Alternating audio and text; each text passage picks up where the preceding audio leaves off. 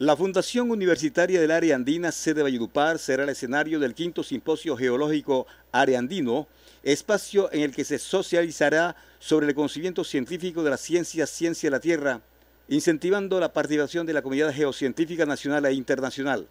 Esta actividad que se desarrollará los días 7 y 8 de noviembre a partir de las 8 de la mañana en el Auditorio Pablo Oliveros Marmolejo será el espacio donde expertos provenientes de países como España, Perú y Costa Rica y las ciudades como Manizales, Medellín, Bogotá y Tunja debatirán y compartirán investigaciones. El objetivo se centrará en acercar la geociencia y la academia a la sociedad, resaltando la importancia de la misma para la región y el país. La dinámica se enfocará en socializar y retroalimentar los resultados obtenidos en los proyectos de investigación en las áreas geotecnia,